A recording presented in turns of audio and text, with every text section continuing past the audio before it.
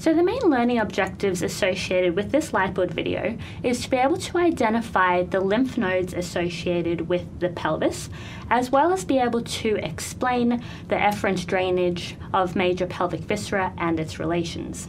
So it's important to remember that the location of lymph nodes, as well as the subsequent drainage, is really going to follow the course of the major vasculature. So the diagram beside represents the major veins stemming from the proximal femur. So we have our femoral vein through to our common iliacs, which are then going to confluence to form the inferior vena cava. So ultimately, all of the lymph from the lower limb and the pelvic cavity is going to drain back into this dilated sac or enlargement, which is going to be located on the anterior vertebral bodies of lumbar vertebrae 1 and 2, which is called the cisterna chyli. So the significance of the cisterna chyli is it is actually receiving its contributions or tributaries by two main trunks, namely the intestinal trunk as well as the lumbar trunk.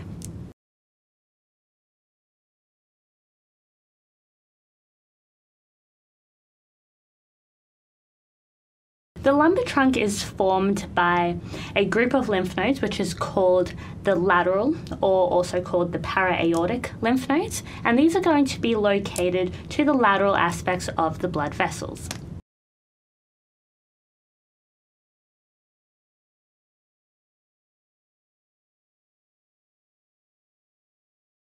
So more specifically, the lumbar trunk is going to be draining the lower limb, the walls and the viscera of the pelvis, the kidneys and the suprarenal glands, gonads, so the testes and the ovaries, as well as the deep lymphatic vessels associated with the abdomen. Coursing then from distal through to proximal, we firstly have our inguinal group of lymph nodes. So the inguinal group, as the name sort of implies, is going to be in the groin region. This can then be subdivided into two main groups, so the superficial and the deep inguinal group. Starting with the superficial group, we have around 8 to 10 major lymph nodes, and these are going to be arranged in two different patterns and locations. So the first, we have what's called the upper or also the horizontal superficial group.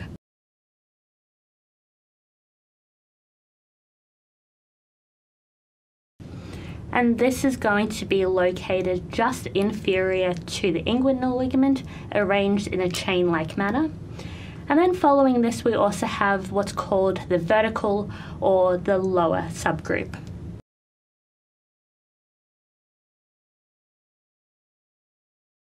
And the vertical subgroup is going to be located at the termination of the great saphenous vein at the femoral triangle. So collectively then, when we're talking about the superficial inguinal group,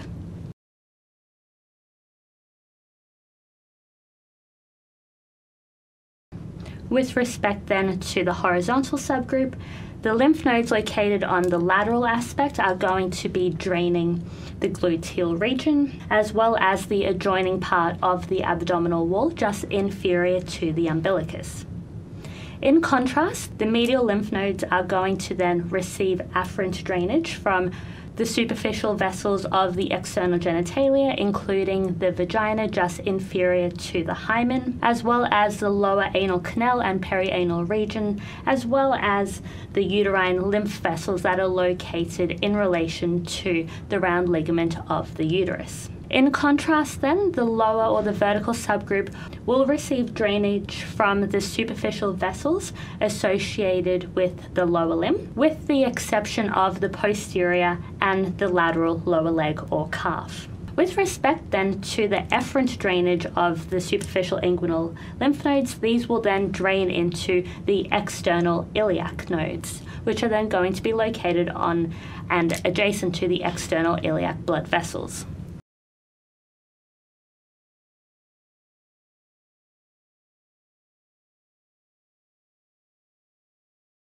The deep inguinal lymph nodes are then going to be located deep to the inguinal ligament, specifically coursing medial to the femoral vein.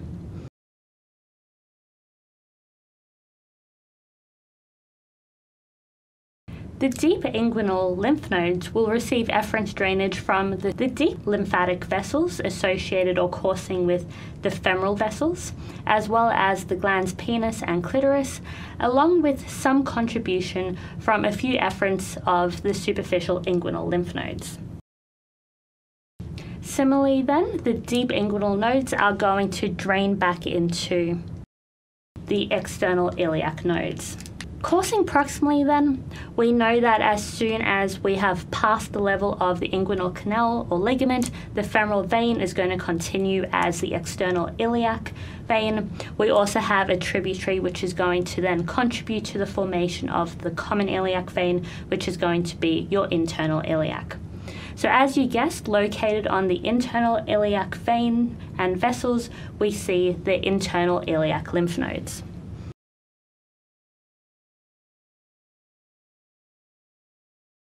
The internal lymph nodes will receive lymph from all of the pelvic viscera, as well as the deep parts of the perineum, as well as muscles associated with the gluteal region and the thigh. Both our internal and external iliac lymph nodes are then going to drain back into the common iliac lymph nodes.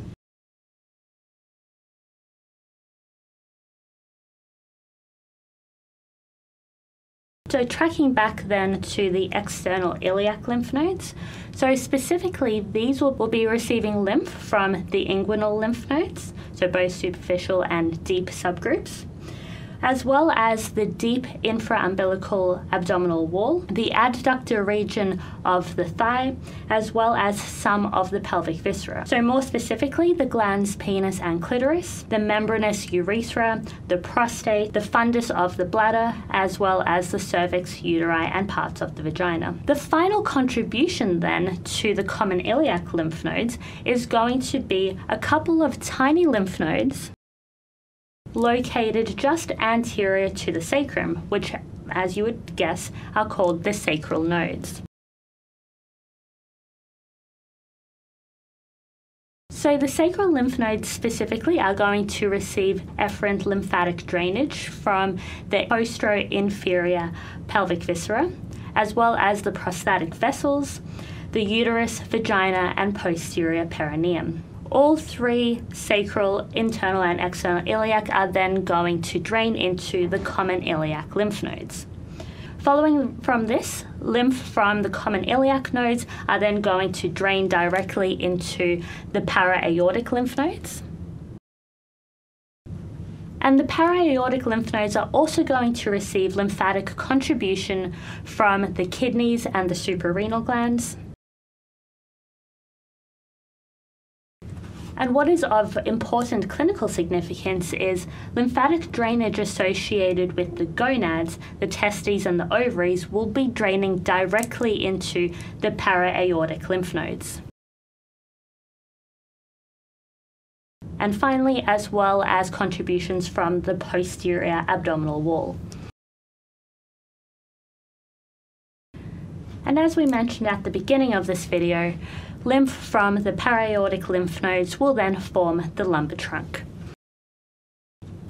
While we're at this space, although this will be discussed in subsequent videos and when we're discussing the content and lymphatic drainage associated with the GIT, be aware that just medial to the para-aortic lymph nodes, we have another major lymph group, or a series of major lymph groups which are going to help to form the intestinal trunk, which are going to be your pre aortic nodes.